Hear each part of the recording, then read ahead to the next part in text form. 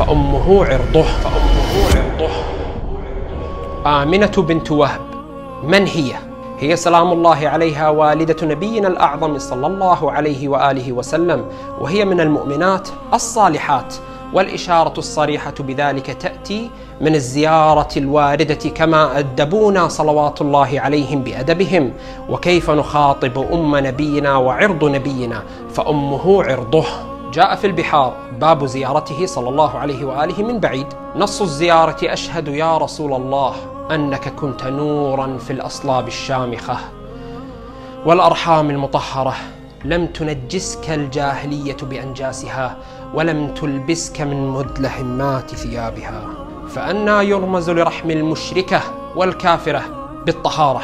فهذا حينئذ دليل جلي على إيمان أم حبيبنا محمد بن عبد الله روحي لمقدمه الفداء.